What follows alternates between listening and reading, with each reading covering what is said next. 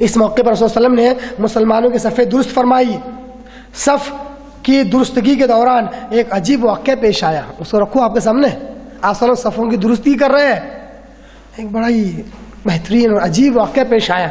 दिल को छूने वाला वाक्य पेश आया। आप सलम के हाथ में एक तीर था, जिसके ज़रिए आप सफ सीधी फरमा रहे थे। जिसके ज़रिए आप सलम सफ सीधी फरमा रहे थे। सवाद बिन गजिया के पीठ पर जो सफ से कुछ आगे निकले हुए थे, तीर का दबाव डालते हुए फरमाया, सवाद बराबर हो जाओ।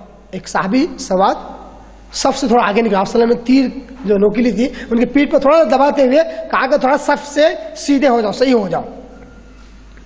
सवाद ने कहा, अल्लाह के रसूल, आपने मुझे तकलीफ़ पहुंचाई है। क्या कहा? अल्लाह के रसूल, आपने मुझे तकलीफ़ पहुँचा दी, बदला दीजिए अब। क्या कहा? बदला दीजिए। आपने अपना पीठ खोल दिया और फरमाया, बदला ले लो। मैंने तीर की नोक से तुम्हें चुभोया, तुम मुझे कर दो। तुम भी मुझे ऐसी तकलीफ़ दो। देखिए, ये है नबी। इतनी भी तकलीफ़ दे दे। नादानिस्ता तौर पर भी तो कहा कि बदला ले लो। मैं नहीं चाहता कि आखिर अल्लाह तबाक मुझे पकड़े। नबी के अंदर इतना डर है और हमें बिंदास बिंदास इतना ही तकलीफ़ देते हैं और पूछते हुए तकलीफ़ हुई क्या नहीं हुई?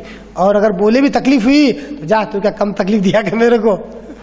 इससे ज़्यादा तू तकलीफ़ देता, है? तो आप सलम ने पीठ खोल दी, पीठ खोल दी और कहा कि, लो, जो बदला लेना है मुझसे ले लो। हम्म? सो सवार आप सलम से जल्दी से चिमट गए और आप सलम के पीठ का बोसा लेने लगे और आप सलम ने फरमाया सवाद इस हरकत पर तुम्हें किस बात ने आमादा किया? ऐसा क्यों किया तुमने? तुम तो बदला लेना चाहते हो, फ़ौरन मुझसे चिमट गए और मेरे पीठ का बोसा लेने लगे। इस बात पर तुम्हें किसी ने आमादा किया?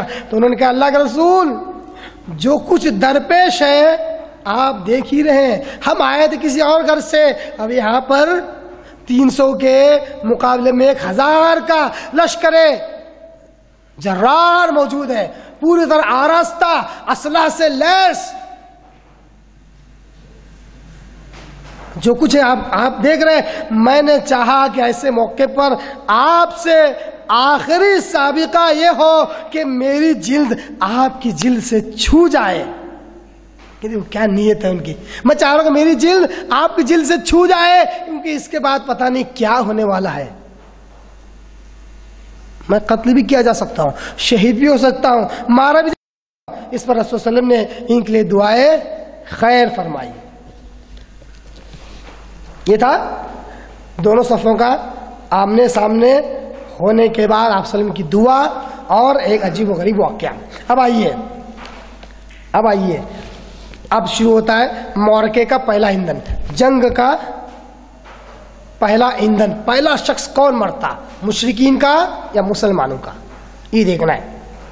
इस मोरके का, इस जंग का पहला ईंधन असवद बिन अब्दुल असद मखजूमी था। मुशरकिन में से, कुफार में से, मक्की लश्कर में से। यह शख्स बड़ा अड़ियल और बदखलक था। यह कहते हुए मैदान में निकला कि मैं अल्लाह से अहद करता हूँ। गौर करने की बात है, मुशरक है। नाम किसका लेते बार बार अल्लाह। अल्लाह को अच्छी तरह जान